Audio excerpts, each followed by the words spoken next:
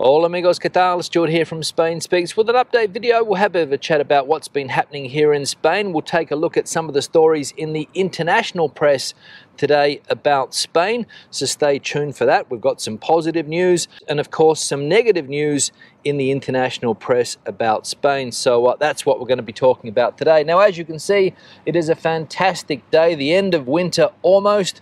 Only a few more days to go until we come to the end of winter and spring begins and uh, outside today enjoying the temperatures around 18 19 degrees celsius today i think is going to be the top about 12 13 currently but uh, the sun is shining so it is keeping me warm as i stand outside here and uh, we'll keep an eye on the building works that are going on over there we'll see if there's any progress being made on the building of those houses over there. So uh, let's get straight into the news.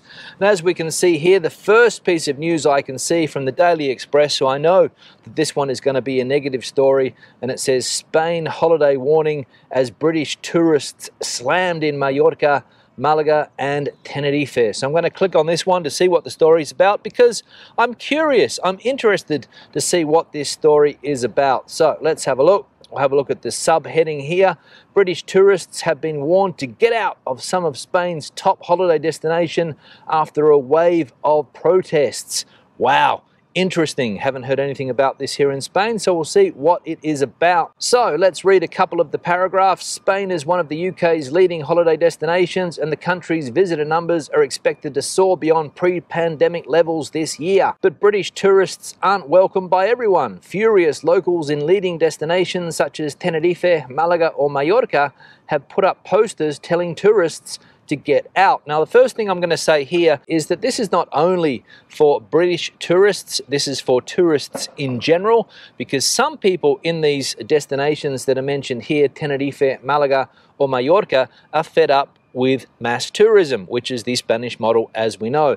And there are signs going up in English because the people that come here, whether they're from the UK or whether they're from France or Germany or the Netherlands or wherever they come from, they're going to understand English. So you put up a sign in English in order for people to understand what that sign is. If you put it up in Spanish, no one's going to understand what it is. So they put it up in English, but it's not directed only at British people. And again, this is a minority of people putting these signs up. These are minority groups, so nothing to be worried about there because the majority of people, and I'll say it again, the majority of people in this country understand just how important international tourism is in the places mentioned here. Again, I'll say them Tenerife, Malaga, and Mallorca, three tourist hotspots here in Spain. Let's continue. A new campaign in Malaga has even seen posters telling tourists to while others have complained about housing being used for holiday lets. Now that's another problem, but again, that's a government issue. The government has to sort this out. You can't be blaming tourists for this problem. You have to blame local governments and also central governments for policies that are in place. If too many homes are being dedicated to short-term rentals, politicians have to sort it out. Don't blame tourists. It's not their fault. Now, they talked to a local resident down here in Malaga, the person that is leading this anti tourist campaign, a bar owner apparently called Danny Drunko. Not sure if that's his real name or not. And uh, he's been putting graffiti up around the place telling tourists to leave. Stickers on buildings also that have slogans such as this used to be my house and a family used to live here. So uh, Danny is on the warpath. He told the local newspaper down there, Sur, I live in a neighborhood of Malaga called Fuente Olletas and was told a few weeks ago the owner would not be renewing my rental contract and I had to leave because the property was going to be readapted for tourist lets. So uh, this person peeved off with the amount of tourists because he's being kicked out of his home. But again, he has to speak to local politicians. What's the point of putting up anti tourist graffiti because tourists don't care about this? Talk to local politicians, Danny. That would be my recommendation. And stop wasting your time with an ugly graffiti campaign.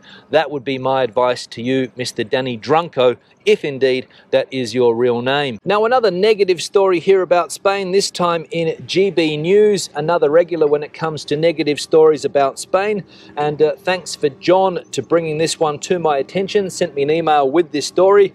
And uh, the headline Spain tourist backlash Britons will take money elsewhere as Spain proposes new rules on UK tourists. Now, again, it's not only on UK tourists, it is on everybody that visits this country. But of course, GBN highlighting that it is only British tourists. So again, don't know what the story is there, but negative news, all part of the day-to-day for this press outlet GB News.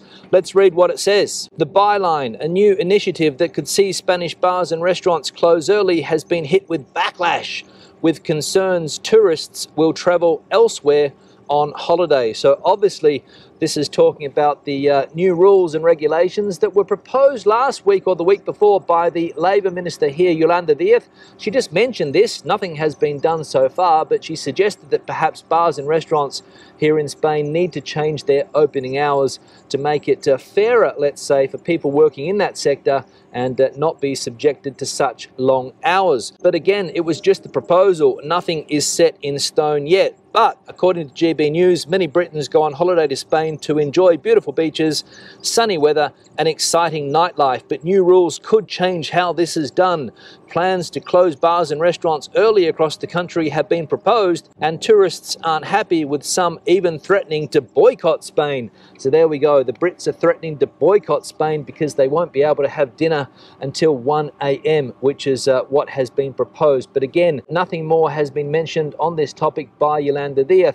But the British press, obviously, picking up on the sensationalist side of the story. And uh, I'm going to say one thing uh, all of the times that I have been to these uh, British hotspots here in Spain, I haven't seen any British people having dinner after 9 p.m. In fact, you see a lot of people sticking to their timetables, their UK timetables, having dinner around 6, 7, 8 p.m. Spanish people, yes, have dinner quite late, but I don't see a lot of British tourists in particular having dinner so late. And another thing about this possible proposal is that I don't think that it affects night spots. So if you're looking to get a late night drink, that is still going to be available here in Spain. So again, sensationalist news trying to throw rubbish on Spain, which is typical of the two press outlets that I have looked at today, GB News and of course the Daily Express. They'll do anything in their power to throw rubbish on this country. The slightest piece of negative news is highlighted in articles like this one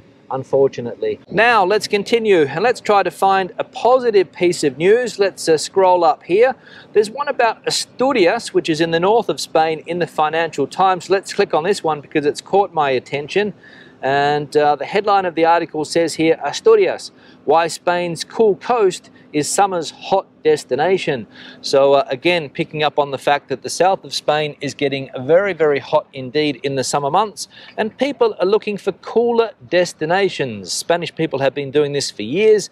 People in places like Madrid or other central parts of the country have been heading to Asturias, Galicia, Cantabria, the Basque Country, looking for cooler weather. And of course, now the international press is all over this. So let's have a look at what the article says. Every year it happens and it's getting worse by mid-July, the Spanish countryside has settled into its frazzled, heat-exhausted high summer look, and I too begin to feel similarly frazzled and exhausted as if the parched air is sucking the moisture from my very soul. Thankfully, the remedy is simple. At the close of July, when I can stand it no longer, I climb into my car and head north from my home in Extremadura, traversing the dusty plains of Castile and the bleak mountains of Leon, before arriving in what has become my summer happy place, the verdant, rugged, often chilly, always well-watered region officially known as the Principality of Asturias. So this is obviously a journalist living here in Spain, living in Extremadura. Let me see if I can find his name. Yes, Paul Richardson,